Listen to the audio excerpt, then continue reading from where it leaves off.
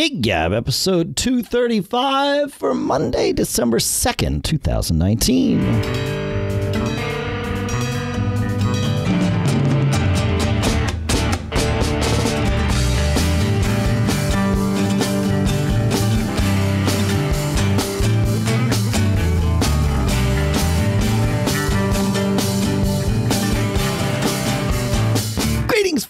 And welcome back to Gig Gab, the show by, for, and about working musicians.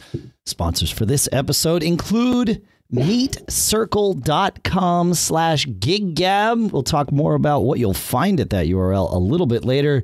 But for now, here in Snowmageddon, Durham, New Hampshire, I'm Dave Hamilton.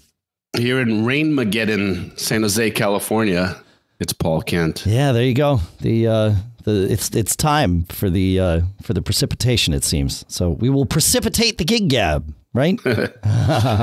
Let's precipitate. Well done. Uh, I don't know, something to do. I I um, you know, I I don't know how how long this conversation will go, but I had. Uh, so we took last week off because of some scheduling stuff and the holiday, and so happy Thanksgiving to everybody who celebrated. Happy and I hope, Thanksgiving. hope you all had a great time with your friends or family or even alone. Like, I just hope you had a good time and maybe some fun gigs because uh, that night before Thanksgiving can be uh, a fun night for gigs uh, sometimes. But um, I did not play then, but I did play two gigs uh, in the same club, the Dover Brick House in Dover, New Hampshire. Here, uh, two gigs, two nights in a row, two different bands, two different rooms, uh, but the same club. I played downstairs for a seven to ten happy hour wing night thing with Amanda Dane, uh, which is a gig I've played several times with her, and and it went amazingly well. Uh, she had a guitar player that I'd never played with before. Uh, this guy Nevin Brown, and uh, the, the bass player that I had played with before, John. Oh, I can't. I, his name's on the tip of my tongue, and now that I'm doing the show, I can't remember it. Uh, upright bass player fantastic and everybody just listened and blended well uh the you know harmonies were good but the the, the playing was good it was just really really uh, nice night and we uh, you know all cover tunes because that's what uh, that's what amanda does and it works out great for that kind of crowd we had this one guy there it might be the biggest tip i've ever received as a band um, at a public gig. Certainly, some private gigs, you know, you play a wedding or something, and and sometimes the tip is, you know, more than you would make at a at a normal gig. But we had this one guy there, Paul, who uh, I, I think he was former army or something. He said he had suffered PTSD and recovered from it.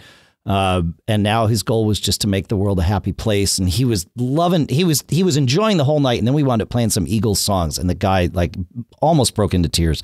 Uh, uh, and probably not because we we did play them well, but but it was more probably you know the memories that they conjure.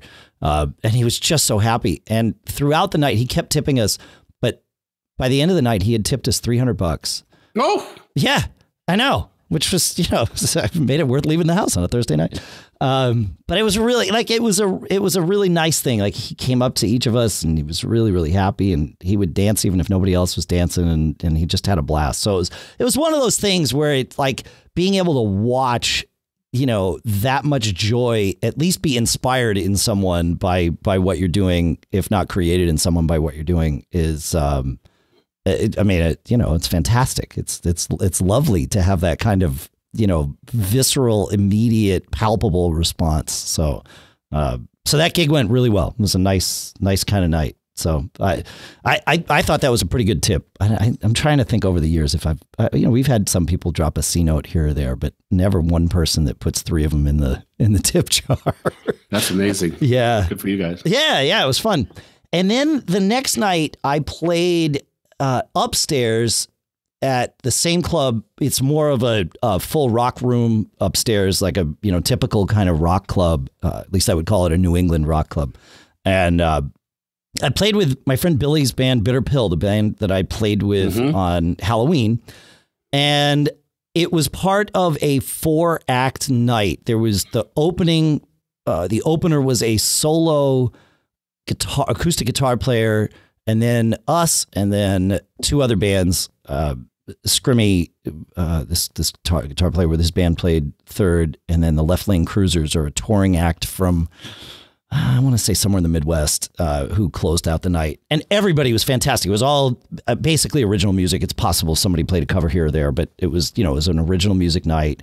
Uh, we shared gear. I think uh, I used Scrimmy's drums, and then uh, Left Lane Cruisers had their own drums, but it just made for an easier changeover. It had been a long time since I had done a a night like that you know, where where it was a multi-band bill, all original stuff, and uh, the crowd was fantastic. There were people there to see every band, and they kind of, you know, everybody was there to appreciate everything. And I, it, you know, these two gigs that I've done with Bitter Pill reminded me of how much how different the energy level is, especially, you know, literally playing in the same club the night before uh, with Amanda doing it you know, the the happy hour kind of cover thing. It reminded me of the the different energy that is possible when you're playing original music. Fling plays some originals we've done. Uh, um, we, we always we play originals every show, but but you know they are mixed in with covers, and it most definitely is like a, a show where we play cover songs and then and then we'll mix in our originals kind of as our our vanity tunes, if you will. Uh, the vibe of an all original night is something I had I had forgotten what that was like. Uh, it reminded me of my Clambake days, reminded me of my Go Figure days back in college, and just having people that are there. You know, remember this band Bitter Pill has been playing all year basically. Uh, they probably have done you know I want to say 25 gigs, but it might be more than that this year. They've developed a following. Uh, and now they've you know at least for the last two gigs had me join them as a drummer. As, as but it, it, what's interesting is dealing interacting with not dealing with that that uh, implies that it's a negative thing. It's actually a very positive thing. Interacting with their crowd right? Because there's people that know their songs know the band. They come to see them. You know they are groupies for for bitter pill. And meeting these people some of them for the first time the other night some of them for the second time because they were there for both gigs uh, all very positive, welcoming, you know, mm. talking about how you know very very into these songs that are that were written not, not by me but by you know Billy and or some of the other people on stage uh, having that that interaction where they're they're really paying attention to the songs and to the music, right? You know, having that the, there was one guy the other night who came up to me and he's like, "Oh, the way you, you know, you, the groove that you put on this song it changes it, but it you know it's better. And and he actually also, I mean, Billy and I and this guy were talking, and, and he's like, you know, for a band that didn't need a drummer, you guys really needed a drummer. He's like, this really works. It it brings the energy up to another level, and and really helps drive the things, which was a nice nice thing to hear, obviously.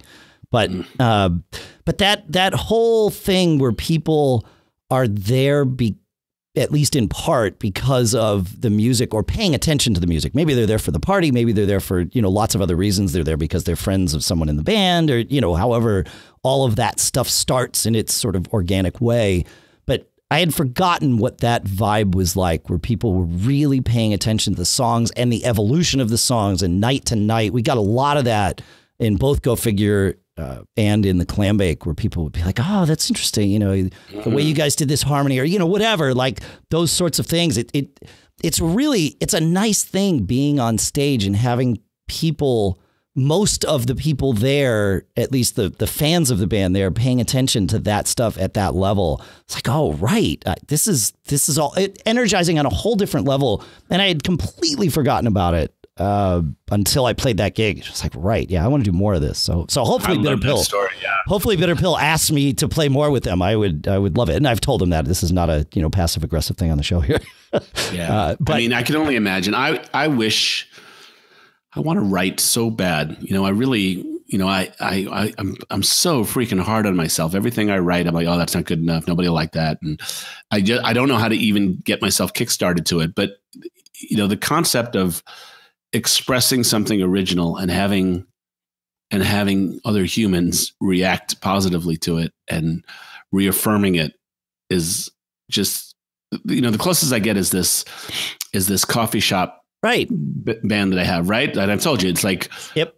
one of the few places where all the chairs are facing the performer people are there to listen to music. I mean, you know, the, you know, there it's it's a performance yeah. opportunity, and and even the like really good musicians who sit in with me on that stuff, it's different than when you're just the loudest thing in a club. You know, people are dancing or drinking or socializing. You know, some are listening to you. You know, maybe more than some are listening to you. Sure, but it's not about every nuance that you can pull out. It's just it's not it's not intimate. It's not connecting in that in that it's type that, of way. That level of connection is is the thing I had forgotten about. Uh, yeah, that's exactly it. Is is that where people are paying attention because of the music?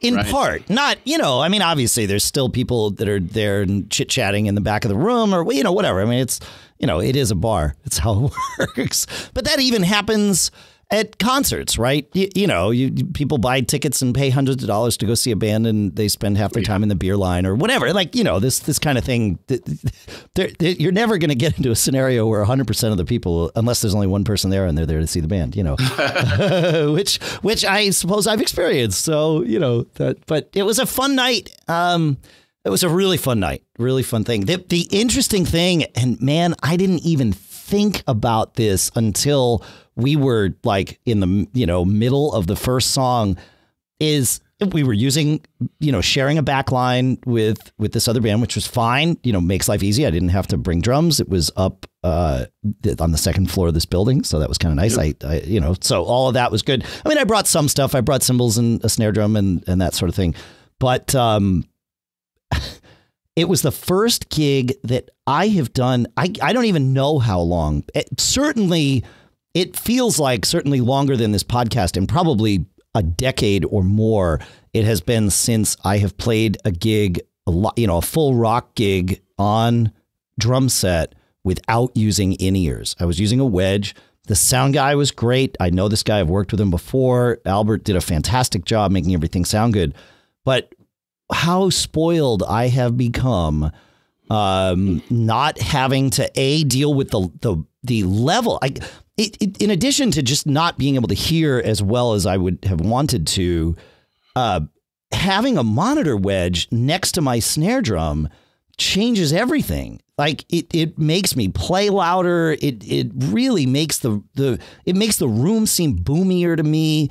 Like I'm, I've gotten very used to being back by my drums and having nothing other than drums being the, the source of volume around me. And so I'm not having to compete with anything. Anything that I want to hear is, you know, inside my ear, not outside competing with, you know, cymbals and the wash of everything. It Listen, folks, if you haven't gone the in-ear route, especially if you're a drummer, just go do it. It like you can especially as a drummer, you can do it pretty cheap, like way less than 500 bucks. You can you can do this, right? You get the like the Rolls uh, PM50S headphone amp I'll put a link in the show notes. Uh, uh there's the new one too, and I always forget which one. Uh, yeah, and I think it's the PM50S now is the is the new one that I've been testing from them, and uh, and and that's like fifty bucks or something, right? Mm. Uh, and and because you don't need wireless if you're a drummer. I, at least I find that I don't need it because where am I going to go? I got a drum stool that I'm going to sit on, so it's fine to have a cord. Uh, maybe it's the SE, maybe it's the 50 SE. So, but I'll put a link in the show notes, and uh, and then you can get, you know, you can spend as much as you want on your, you know, your earphones, but mm-hmm. you can do it. You can get decent earphones for a hundred bucks. You know that that will work and get you moving towards it, and then you'll probably want to save up as you gig a little bit more and and maybe get something you know a little nicer, custom fitted or whatever. But man, like it makes a huge difference. I really should have just asked Albert, "Can you give me a feed?" I'm hmm. sure it wouldn't have been a big deal at all. I just, you know, I was being that nice guy. You whenever you do a gig, any gig, but especially a gig like that where there's four bands, you know the engineer is going to be overworked for the night. I always, and we've talked about this before. I always try and pick my battles, right? Not and not battles, but pick the amount, limit the amount of things that I ask for that are about sure. me. Right? You know, I mean, I get what I need and then basically stop there. It's a 40 minute set. You know, you're not having to do this for three hours. You, you get what you need and then, and then you play, you know, you, you make it through. And, and I certainly made it through, but I couldn't hear harmonies as well as I wanted. I couldn't hear the instruments as well as I wanted. Like it just never got comfortable. I mean, I, we had a really comfortable gig. It went really well, but it could have been even better. And it mm. probably wouldn't have taken much at all. He had a digital mixer, probably on Wi Fi. It, it probably would have almost arguably been easier for him if I had, especially if I had reached out in advance and said, hey, uh, you know, can I do this? If so, what's the password? So you don't even have to tell me at the gig. Like you worry about you, I'll worry about me. Just feed me a line, I'll take care of the rest. You know, that kind of thing. Mm-hmm. Um, and so, yeah, yeah, I, I should have, but it, but it was just interesting. It was enlightening. It was like, right, don't take it for granted. Those ears are a beautiful thing. so anyway, you have you found your comfort place with those. Like as we've discussed many yeah. times, I still haven't. And yeah, uh, yeah, I know. Hey, I have hey, a question for you. I, can you can I ask you to hold that question for one minute? I will gladly hold that question. Awesome. Awesome. I want to actually I want to find out what this question is. First, I want to tell everybody about Circle Home Plus. This is the thing that you need for your network at home, right? Because you're a musician if you're listening to this, or at least you're interested in music, which probably means that your kids are even more creative, smarter, and adventurous than the average kid. But if they're using all of these gifts to get onto parts of the internet that you perhaps wanted to keep off limits, this is where Circle can help because Circle is this award-winning it's a it's a device that you put it's the Circle Home Plus and you put this on your network and it allows you to manage your family's online time across all your connected devices inside and outside the home. With Circle, as a parent, you can filter what content is allowed. You can set limits for screen time, right? You can monitor history and usage, and you can even reward your kids for good behavior. You just plug this Circle Home Plus into your router, download the app, and then you can keep track. Uh, across every device laptops, phones, tablets, even smart TVs, streaming devices, video game consoles, all from one place. And it's no wonder that Circle have been getting grave grave? No, rave reviews. Why would I That'd say be grave? different? That would be different. Yeah, they've been getting rave reviews. Uh, maybe it's my band that's been getting grave reviews, but Circle's been getting rave reviews. Well, it's Bitter Pill is the name of the band, so it's kind of this you know Halloweeny thing. So maybe grave reviews for for Bitter Pill are a good thing. But for Circle, the rave reviews from the Chicago Tribune, People, Wall Street Journal, USA Today, and many more. Listen, you'd do anything for your kids. So with Circle you can do something easy that'll keep your family on the right path. Right now, as a listener to GigGab, you get a limited time offer of $30 off a Circle Home Plus, but you have to use this special URL. It is meetcircle.com slash giggab and then enter giggab at checkout. So it's $30 off is what you get when you visit meetcircle.com slash giggab and enter giggab at checkout. One more time with feeling. That's meetcircle.com slash giggab and enter giggab to save $30. Check it out. Circle Home Plus. Our thanks to Circle for sponsoring this episode. All right, Paul. Thanks, Circle. Yeah. Well, my question is this: It's that time of year, Dave, and um, it's time to work some holiday songs into the into the various sets. I'm actually doing a, a whole show of holiday songs. I just want to know, like, what holiday songs have you enjoyed playing? I mean, we we the House Rockers do Bruce's Santa Claus is coming to town, always you know popular. We also because we have such a great sax player, we do a sax solo of "Have Yourself a Merry Little Christmas." That's just beautiful. But what have you what have you done that you like playing? That uh, you know, do you do them as sing-alongs? Do you do them? What, what's worked in the holiday realm for you? Um, there are there are a couple. My it, it, my favorite song to play this time of year. I don't know why. Maybe because it's just so anthemic. Is "Auld Lang Syne." Right. I mean, you really only get to play that once a year. Yeah. Uh, but but it is I like the the melody line of that is is not only recognizable, but it really it's one of those really strong melodies, right? And and it's it's a lead line. So I always like when it can be incorporated into other things, right? So, like, uh, we do Rocky Horror uh, at the Seacoast Rep Theater every Christmas, and I always try and get the guitar player to on New Year's Eve anyway, because uh, we do it on Christmas night and then also New Year's Eve, both at midnight. Uh, mm-hmm. Uh, I always try and get the the guitar player to incorporate that into one of the lead lines in one of the the tunes, you know, as part of his solo or whatever. When we did Hedwig last year, the show starts with the band playing just the first you know bit of the melody from America the Beautiful beautiful which is another one of those really sort of powerful lead lines. And so last year we we swapped it out and did Auld Lang Syne because you know as a big like you know metal kind of thing and that worked. It, no it was great. Like everybody loved it.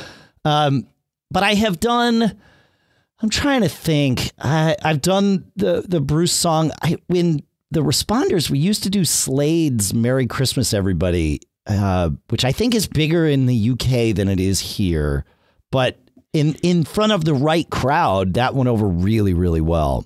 So I remember doing that one. I'm trying to think if I've learned any. I mean, I've, I've played a bunch. We oh, we used to play the Heat Miser song and Fling uh, for our Christmas gigs, which people always like. That's one of those things where everybody knows it, but you, you know nobody nobody actually goes and does it. So that was kind of kitschy and fun. Yeah. How about um, Mellencamp's "I Saw Mama Kissing Santa Claus"? I've done that one. That's a fun one. Yeah, yep. yeah. Kind of rocks. Meat and potatoes. Yeah, exactly. Yep. Yeah. Yeah. There's so many darn Christmas albums out there. There's a lot of like material to choose from if you're gonna if you want to get any kind of style. But um, I'm going to do a show that that coffee house thing I do, which has turned into a you know community sing along thing, is going to be a Christmas edition this week. So we got you know maybe 10, 15 songs. Oh, nice. And the thing about Christmas songs, is a lot of them are so short. I mean, so getting enough together for a whole two hour show, two and a half hour show, you actually you need to think about time for those things. That that's the problem. Is it you know you get to play them you know for one season a year, which might just mean one gig. Uh, but yeah. you know, and you spend eh, you know just as much time learning them if you want to do them well as you would many other songs that you then can't you know, you can't pull them out.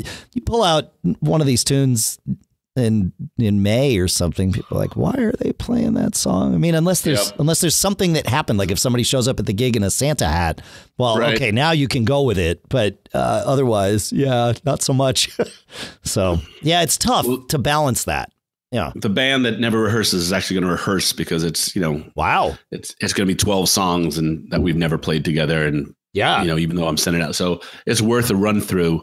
So we're going to do that the night before and just kind of run through the things. But that'll be it. But that, I bet, you know, it, it's the band that never rehearses for you, but it is a band that has played regularly enough. Yeah. Everybody knows each other. So it's not like you're coming in and everybody's got to learn how to play together. You know how to play together. Now you just need to learn how to play these songs together. That's and actually, what's thing. interesting is about these songs is that everybody has them somewhere to some degree in their consciousness. Right. I mean, it's not like learning a song that you've never heard before and the forms are entirely crazy.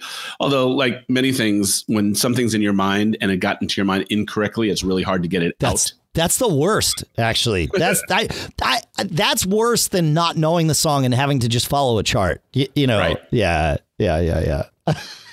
that should be fun. Someday, though. yeah. Someday you should take people through Dave's uh, unique shorthand chart writing process. Uh yeah. Yeah, well, but it, I'm a I'm a drummer, right? So my um although I guess I, I guess you could use you could adapt my my process.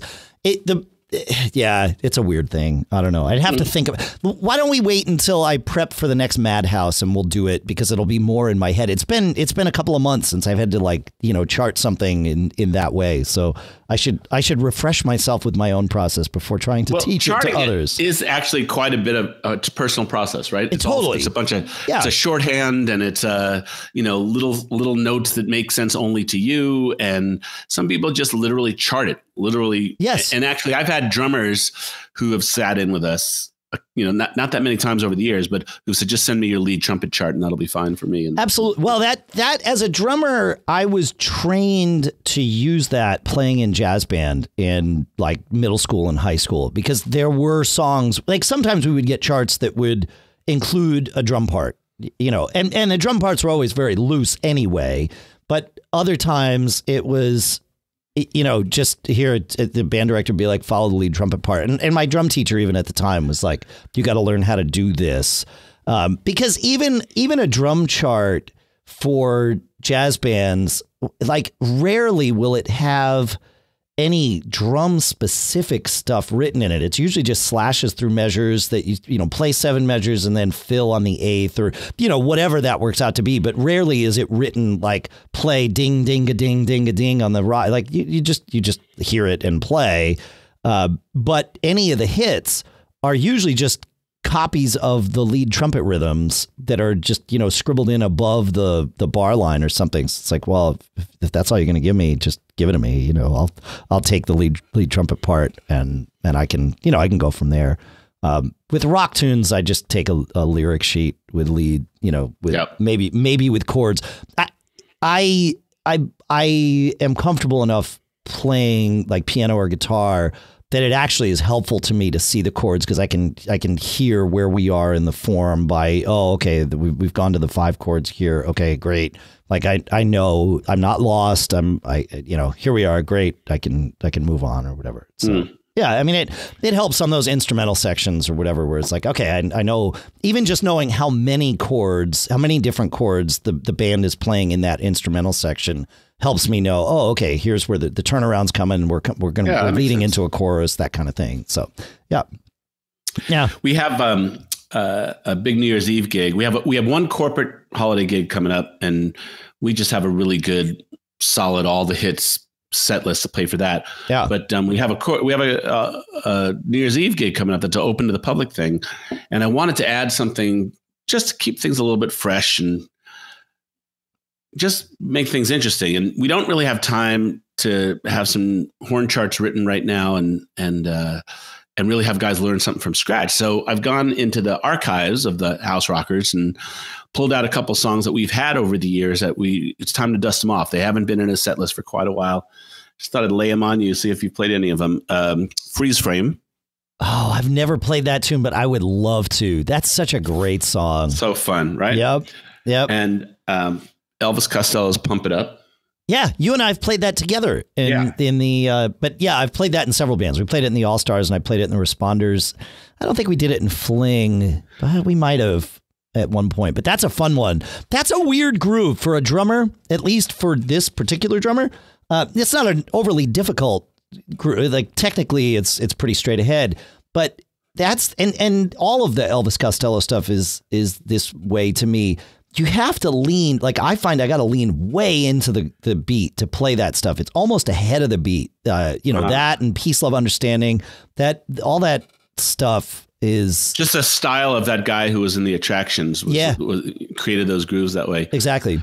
Did you and I decide that he was the one in that video that we saw when? Um, yes. When uh, that television show that Elvis Costello had for a while the, on on one of the cable channels, and uh, I, I, it caught my attention because Springsteen sat in on it one time, and they, and Elvis and Bruce played a couple together, and I was like, "Who is that band?" And you know, Pete I thought Thomas, the drummer was man. really good. Yep. really good. Yeah. Um, you know the the thing about um, pump it up, it's almost like um, Honky Tonk Woman. The temptation to make it heavier, more distorted than it needs to be. I mean, remember that song is a real kind of 60s Farfisa organ sound. Yeah. It's a, it's a it's a weird sound that kind of creates the mood for that song. But the temptation to just drive those those uh, chromatic chords um, it, it, the song is better when you don't play it too hard, but it feels so good to play overly hard. It feels like, like you should play it hard. Yeah, yeah, that's right. Yeah, I'll give you that. Yeah, and especially because it's I, I, you know it might have to do with well, there's that that that lick right that that really wants to be this you know overly distorted thing but isn't, and then it's fast, right? So the energy yep. is there or should be there without overdoing it. That's probably one of the I've never sang that song, but that's probably one of those songs where there's the temptation to oversing it too. And man, yeah. that that's something that I've I've tried to become more and more aware of. Of course, it drives me crazy now when I, I'm like on stage and other people do it. But that temptation to oversing because you want to communicate the emotion you're feeling unless you're a really, really good singer. Good singer, absolutely. That's a bad idea. Like, and we live in a world sing. where everybody riffs everything all the time, right? Yeah. I mean, there's a lot of like faux soul singers who think they're Ariana Grande. Yeah, you know, yeah, and you're not talented, and you're not. And I, you know, I think we said this once on the show together.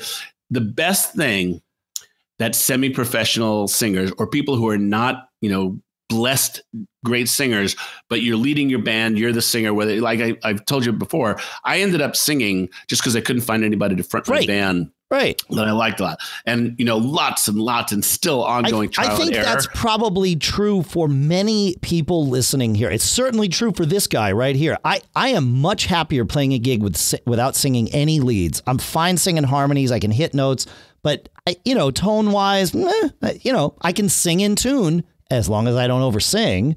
It, you know, but that's it. And but yeah, that's what I'm saying. The biggest tip the biggest thing I could ever say to 99 out of 100 bands that I see with singers who have solid tone, solid sure. pitch, don't oversing. Don't add over inflections. Just sing don't, it straight. That's it. Sing it straight. And if you go back and listen to a lot of, especially, you know, classic rock, right? It's a lot simpler than you do. People, I think people tend to add inflections and stuff to cover up for their own insecurities. But I don't think it's always about overly trying to emote unless you're trying to overly emote to cover up for something that you're not particularly comfortable with. But, but it's worth listening back to yourself. Like, go record that because most of the time, again, if you're a, a trained and talented singer, this you probably already know all this. I was going to say this doesn't apply to you. It certainly applies, but you already know this. You know your voice. You know how to use your instrument. Like that's that's your thing. But for those of us that are, you know, I'll call myself a hack singer that that has yep. gotten that has worked at it over the years. Uh, I find, and I find this true not only of me, but everybody that I play with, uh, you know, that isn't like a a singer. Everybody that's just like, all right, well, I brought the song in, I guess I got to sing it. That you know, those kinds of people. When that over emoting happens, it instantly goes out of tune instantly and it just sounds bad. It's like you can't have harmonies when it's out of tune, or you shouldn't. Good luck. Uh, you just, you know, it just doesn't work. And the problem is, you mentioned classic rock. You know, go listen to Paul Rodgers sing anything. That guy so rarely puts any effort in. You know, he is, he just sings it straight. But the problem yeah. is, he sounds like Paul Rodgers when he sings it straight right? And that's why he got to do the things that Paul Rodgers gets to do in his career because he sounds like Paul Rodgers. you know, but I don't sound like Paul Rodgers. I can hit those notes, but in order to hit them, I've got to work too hard. Uh, and it's it's it's very difficult to remember to just relax and sing it and just yep. be me. I learned that a long time ago with Stevie Wonder. I I have not met anyone in a in the cover band circuit that can sound like Stevie. I've met plenty, several, maybe not plenty, maybe maybe plenty. Uh, I've certainly met people that can sound good singing Stevie Wonder songs, but the people that do sing them as themselves.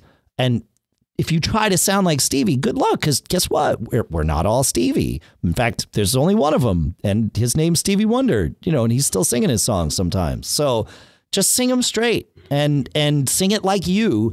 Find your comfortable way through the song. The more comfortable you can be, the better off it, you're going to be. The better it's going to sound to the crowd. It the, the better you know the harmonies will fit in because you're not singing out of tune. Just be you. It's fine. Yeah. I, I, think a lot of that over singing comes from an insecurity. Like you're probably you, right. Yeah. You gliss up to a note that you're not positive of. And on the way of glissing up, you are searching for the note. Mm-hmm. And then once you finally get there, you're so happy you got there that you want to do something going. special at the end of the note, yeah. you know, to kind of celebrate that you got to the place where you wanted to go. It's all that type of stuff that really separates amateur from professional singers. Professional singers are on pitch on the right on breath, you know, right? Like yes. They open their mouth and they're on pitch. And and I think a lot of the over singing comes from an overcompensation to either a lack of confidence or a lack of technique. You know, it, that's that's what that stuff is. Uh, you're like, well, if I can't start out on pitch, at least I'll dazzle them and make them forget that I that I started out a little flat by holding this note and trying to riff on it for a while. I think that that's a large part of what semi-professional or, or amateur singers do. Yeah. yeah. Is they're just it's a constant process of, of overcompensating. But I it it's like in everything in life, it's hard to be simple. And so, you know, the ability to just kind of simplify your approach, simplify your phrasing, find, rehearse, find out what you can do if something is giving you trouble. Yep. You know, and then just you have do to that. change a line. You know, that that's a, a, a interesting thing. You know, there's a lot of. I saw a good thread on one of the other cover band um, discussion boards about you know, do you play originals spot on to the to the original or do you make it your own? And why you know like kind of like the ipad discussion wide range of of uh, opinions all these types of things. of course. But when it comes to singing i mean you know you ha- it i just think it's so much better to find what you can do with a piece of music with a with a vocal line than to poorly recreate something someone else does. And i don't think you should abandon if you can't do anything. I, I, mean, you know, yeah, I listen to way more live music than I do original studio recordings, and it's rarely the same twice in a live environment anyway. Uh, totally. Yeah. Yeah. I mean, there are some people that, that, that's their shtick, right? Is they can deliver live the same way every time, and it sounds good. And you know what? That, like that's great. But for the most part, you're right. Yeah, it's this is a live thing.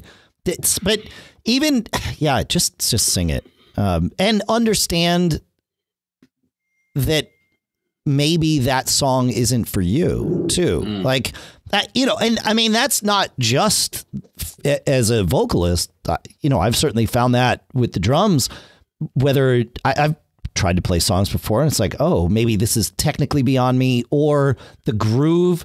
Like I have a really hard time playing Grateful Dead songs. Uh, and probably because I'm trying to find this weird groove that two drummers found and and blended together, right? Like sure. that that's not a that's not a thing that one drummer did. It's you know, it's, th- something that two drummers did.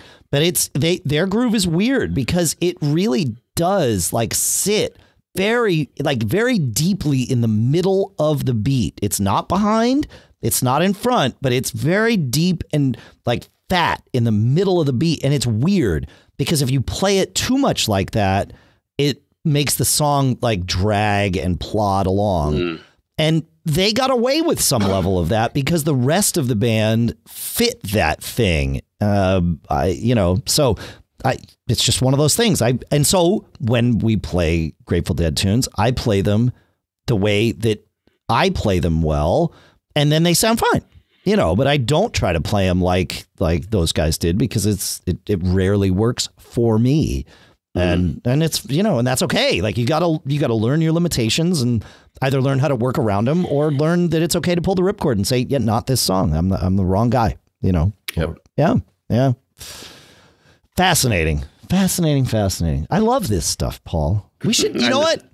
We should, we should do this every week that's right yeah i think so i think so uh, so, so, tonight i'm hosting my um my musicians holiday happy hour. So I got probably about 200 local musicians coming. Got a good bar, you know, in uh, in one of the towns that has uh, you know live music and the the format it is kind of fun. So I've done it in one place for a long time, but I want to kind of spread out. You know, it's basically a Monday night of revenue. You know, for these bars that sure. normally wouldn't have any. So. You're um, you're really good at identifying those opportunities and bringing them to bars. Oh. Like I, I I remember that when we were starting Cirque du Mac. I was like, how am I going to rent a bar on like a, you know, in the middle of this thing? And you're like, dude, why offer to rent it? It's a Wednesday night. What are they going to fill their bar with people exactly. and you're going to pay for all their drinks? Do not pay a rental fee. it's like, exactly. oh yeah, that's right. That's really good you advice. Know, yeah. The concept of leverage is useful in life, right? It, you and you yes, I you are one of the the people that taught me that lesson early early on at least in my in my my, you know, professional career. It's like it's yeah, stop and think about that before you walk in. Sometimes of course you realize that, you know, they have the leverage, and okay, well, fine, and that's that's just how it is. But yeah, don't sh- don't sell yourself short just because yeah. someone else cut a deal with them on a night they didn't have leverage. Uh, if you got it on this night, well, walk in with it. It's okay. Yeah. Yep. Yep. So uh, be about 200 musicians. Some of them are coming from, you know, maybe 60, 80 miles away, which is kind of cool that they're coming down. There are booking people here. It's a it's just a nice networking thing. Yeah. It's funny that I've gotten requests, you know, musicians are interesting people who see the world interesting. And so some of the requests I've gotten over time the, have been unusual, but the most interesting tension has been some people want there to be a jam, mm. some, but more people just love the idea of catching up and meeting other musicians and just the networking and socializing. Like I, I play all the time. I don't need to play another night. Right. And you know, so th- there's that type of request. Um, you know, I think people find new bandmates. They get to meet people who, who like we have a guy who's uh, in the Rock and Roll Hall of Fame that uh, is a local musician here. So he comes and he's a you know great member of the local music community. You get to meet people like that. You know, I don't know if Robert Berry will come tonight. He's come in the past. Uh, you know, so people who have achieved different levels of success in addition to you know local original artists and local cover bands. It's been it's become a really nice thing. It's grown to a pretty big thing, and um, people look forward to it. And it's rewarding for me. You know, you're talking about you know creating those kind of opportunities. Yeah you know, over and over again. I don't know, outside of our conversation last week about Nashville and Austin, I think that there's a lot of areas of the country where live music to some degree is on life support. You know, it's it's the number of venues. Sure you know the, eh, eh, eh, the summer the summer seems to have gotten quite vibrant out here with all these outdoor concert series and art and wine festivals. That seems like there's a lot of work through those types of things. And you know certainly the house rockers do a lot of those. But through the winter and then even like the coffee house i don't get why this coffee house kills it by having live music. And she said it's changed her business I don't know why there's not 20 more people in a 50 mile radius trying to do this. It's a, such an easy thing. You know, you walk down to the local coffee house, you get a cup of coffee and you enjoy some music for an hour. It's just, it seems like such an easy, easy formula, but doesn't seem to be happening as much. And, you know, it's interesting because uh, who's buying instruments now and who's playing music now? I mean, I, I know you saw the Jonas Brothers recently, right? I did. I saw. That's a new generation of music and musicians, right? Well, kind of. I mean, the Jonas Brothers are actually on their reunion tour right now, which is really fascinating to me. Right? Well, like I didn't know they left. They, they, did. They they went on with their lives. I mean, they started when they were you know kids and their teens or whatever. Uh, and I wound up seeing him with my daughter back then, and then have seen him twice actually on this tour because my daughter is a big fan. But it was interesting, especially the first time that we saw them on this tour watching my, you know, 19 year old daughter hmm. experience mm. a nostalgia act you know, for firsthand for her. Yeah. Right. Yeah, exactly. I mean, she's seen plenty of nostalgia acts, but they're nostalgia acts to me, you know, yeah, not not to her. So yeah, that was that was uh, that was interesting, but but what really uh, this especially it was the same two two openers that I saw last week when I saw the Jonas Brothers uh, that uh, that I saw the first time. It was Bebe Rexha and Jordan McGraw, and they're both, you know, current. Uh, either established or up and coming, depending on your definitions of those, you know, those two things. Uh, pop stars, right? And Jordan McGraw is actually Dr. Phil's son, believe it or not. Uh, but, but ah. yeah, but he's decent. He's he's not fantastic. BB Bebe Rexha puts on a great show. Uh, she truly she's been a, a, songwriter for a long time, kind of behind the scenes, and and then recently, you know, came out from from behind the curtain. Uh, but uh, you know, they both put on fine shows. The thing that blew me away bo- both times, in fact, was their drummers. You know, these are people that could very easily come out and just play to tracks and satisfy the people that want to hear them sing their hit songs, right? It's just the way that particular vibe would work but they don't. They have full bands on stage and everybody can play, uh, really, but their drummers like the guitar players are, are good and and when given the their moment to shine and play a lead, they blow you away, right? Like as they should. These people are being hired to tour with a professional production. Absolutely should be able to shred when they shred, right? And they yeah. do, no problem. These drummers, though, it's interesting because the style of drumming that is the norm for these pop stars is something that I would call like massively overplaying all the time, but it fits. And these fills that these guys are doing and and just the grooves that they're playing with the intricacy of all this stuff, it it it seems like it would be too much as a drummer, I love it. It doesn't bother me at all. And everybody seems into it. But the, I mean, the grooves are solid. Don't get me wrong. It's not like they're all over the place, but they are just filling in a lot of stuff. And we, when we saw them a couple weeks ago, we had seats on the floor, which was fun and, and all of that. But, um, but you, you know, we couldn't really see, we could just see from, you know, the front of the stage. When I saw him, I don't know, two months ago or something, we had seats sort of up almost to the side of the stage and the way the stage is built, all the the there's like holes in the stage where all the techs sit to hand people like guitars and things like that. So they're not coming from the side. The stage is obviously raised up, and and the techs and uh, you know the people tuning guitars and all that stuff are just sitting uh, sort of in the middle of these holes, and they can just hand them up. So we could see all that happening. And the drummer's drum tech just sat there and laughed all night long watching for the for Bebe Rexha especially watching this guy just like overplay all these fills and everything. And he was just like in, almost encouraging him you know to uh, to to keep going with it but the band, like the band leaders, obviously love it. Otherwise, they would tell them, "Don't do that." You know.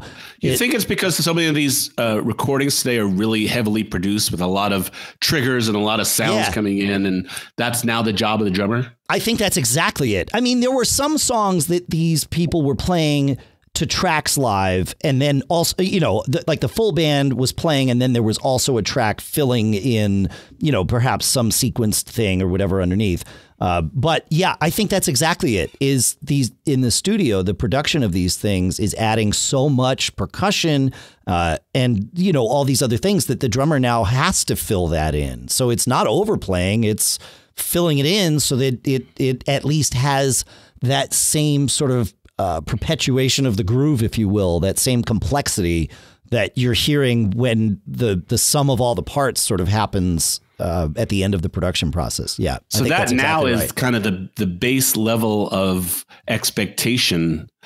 You know, it, and it's interesting. Like you know, when, when we were growing up, you know, what did we listen to? You know, the classic rock artists of our time. Yeah. But now you listen to you know really heavily produced music, and so if you want to be a live performing musician, that I'm, I'm thinking about all those things on YouTube, like these amazing, crazy kid prodigies that that people post videos of. Yeah, of, you know, that uh, chops that you wouldn't even fathom uh, on on uh, on rock instruments, you know, 20 years ago.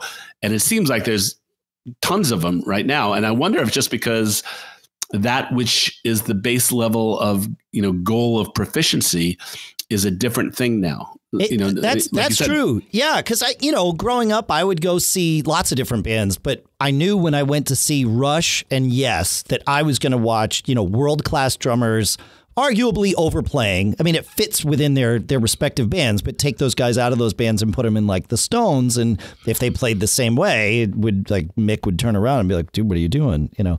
Um, nowadays, that's yeah, that's table stakes. Like I, I mean, watching these table guys stakes. was like, whoa, this is like watching you know, Neil Peart or something. I mean, that's like the fills that he's doing and all this stuff. It's like, whoa, I, I, I got to go home and work on this. Like, holy crap, these guys can play. Yeah. Yeah, there's the title for this week Neil Peart backing up a boy band. I thought it was going to be just sing it straight. I we'll have to see what comes out of the wash. That's right. There you go. Yeah, yeah, yeah. But yeah, yeah, no, it is like Neil Peart backing up a, a boy band or a girl band. I mean, Bebe Rexha. Uh, I'm trying to think. Most. Uh, she had two female singers with her, and I I, I want to say her bass player was a woman too, but that might not be right. But yeah, yeah. And the Jonas Brothers drummer is good. He's a solid drummer. He's not like he's he's exactly what you would expect for the Jonas Brothers, and he has been playing live with them since they were kids. Uh, I mean, there's mm-hmm. you know, I don't even think they're thirty yet. So, but um, but yeah, yeah. He, you know, he was more like well, they're a nostalgia act, right? They're not they're not the newest thing. They they are you know, but those guys those guys are good performers. Um, it's interesting. I I actually find when they sing individually, they over each of them oversins. They are not great singers individually, and I'm sure I'm uh, I'm sure, I know my daughter is is cringing at me saying this uh, and I'm sure there's somebody out there that, that wants to vehemently disagree with me, which is fine. Feedback at giggabpodcast.com. I've been wrong many times, and I'm sure I'm wrong right now. But um, when those guys sing together, those brother harmonies are killer. And that I think is that plus their energy is is you know what what really helped them establish themselves back whatever it was 10 years ago or something like that. Mm-hmm. Um, yeah, they're they're brother harmonies. Like you know that that's that's how that goes, right? When you've got family harmonies, it, it, there's there's not much that can match that. Uh, mm-hmm. I've found so. Yeah, our our buddies, the Coffis brothers. Yeah, exactly. Right. Yeah. No, it's it's it's something special, which is great. It's you know that's that's a wonderful thing. So, yeah. All right. Well, does that do it for us today, Mr. Kent? It was a meandering road today. It was. It was a uh, not that long, but it was a winding road. So there you go. Yeah. Did you see um, Paul McCartney played uh, at his wife's Christmas party? I did. Can you imagine? Well, I guess if you attend that party, you kind of know in the back of your mind that it's a possibility. Yeah. But, but still, just to see videos of Paul McCartney singing at a private party. Yeah, whatever you know, fifty people there or something, and and and clearly, but it was it was, it was funny watching him. Eh, you know, become being that ever the entertainer, right? Like he's singing the the chorus or something, and simultaneously like making eyes with the sax player like you're going to take the solo next right? Like you know he wasn't going to let there be dead air. It was going mm-hmm. to be an entertaining performance. Like he just did not have it in him to not take charge and make sure this thing gets all the way to where it needs to get to you know? It's like that's a pro right there. He he knows how to how to take the reins and make sure it works and it it worked. Yeah i love it. It's good. It's good. Well uh, as we said, you can email us feedback at giggabpodcast.com. We would love, truly love to hear from you if you've got any thoughts about what we said today or um, any topics you'd like us to cover or you want to tell us we're wrong or uh, you could tell us we're right if you like. We like that too. It's fine. We boost ourselves up and then we'll then we'll oversing in the next episode. Is that how that works? No, I don't think so. I'm, I'm confused. we'll sing way out of tune. Way out riff, of tune. Riff, riff, riff. That's right. Stay in our lanes. Uh, yeah, that's all I got. You got anything else? We good? No, here we go. Holiday season. So uh, I wish you a good run here. We'll do a couple more this year, and then we'll probably take off. You know, sometime around Christmas, right? I think that's probably right. Let me look at our uh, let me look at our schedule here. Yeah, yeah, that's right. And then we'll we'll we'll come back around maybe. Uh, maybe right before New Year's Eve and then talk about that mayhem too. Who knows? Yeah, well, uh, in the New Year's Eve gig the House Rockers are doing, the city of San Jose wants to kind of create their own Times Square vibe, and so they're doing a big you event. Told us that, yeah. So we'll see how it goes. I'm looking forward. So some of my guys were, you know, like really we're playing outside, and and you know we're in a covered stage, and, and if it rains, it'll get called off. But but uh, yeah, so it'll be interesting. I'll be inside on New Year's Eve uh, here in in in Snowmageddon, New Hampshire. So yeah, yeah, if you can get there. If I yeah, that that has been an issue in the past. We had a Christmas gig when we did this Rocky Horror last year, year before, and I I have a rule. I tell everybody that I play with if there's more than four inches predicted, four inches of snow predicted, anyone can say, "Let's cancel the gig," and there's no judgment allowed by anybody else uh, because it can wind up being a really unsafe scenario. Uh, and so that's that's just my rule. If there's more than four inches, anybody has the ripcord, and it's okay. And probably if you pull it, you just made you know several other people really happy. Uh, but it's tough when you know there's there's you know 250 tickets sold or whatever it is to fill the theater, and there's you know, another 25 people involved in the production and all that. But I, I almost pulled the ripcord that night. It was like there was six inches on the ground and more coming. And I was like, I don't know that this is like, we're not saving lives here. I don't know that we need to do this. like, is this, do we really want, you know, somebody having an accident? And, and I think actually it was that night that somebody on the way to the theater, um, their car spun out in the snow or, uh, they did make it there and everything. But it's like, oh, really? Is this smart? I don't know that it is. I don't know that it is. I, I, I recommend that if you're in a band and you're in a snowy climate, that you collectively decide whatever your you know weather cancellation policy is amongst sure. yourselves yeah just so that no one is pre- no, really no one should feel pressured to do something that they don't feel safe doing in terms of driving to or from a gig because it's the from the gig that can be a real problem because the plows don't sometimes aren't out at two in the morning or whatever it is. You know, they might wait until six a.m. to to clear the roads. So, yeah, uh, there you go. Well, that's that's that's all we need for this one. I think. I think it's time yep. to uh, to fade it out. Thanks to uh, meetcircle.com slash giggab for sponsoring this episode. Go check it out. Thanks, Circle. Hey, Thanks. hey, Dave. Hey, Paul. Hey, um, just remember one thing. Yeah, what's that? Just always be performing, will you? I will. You too. Thanks.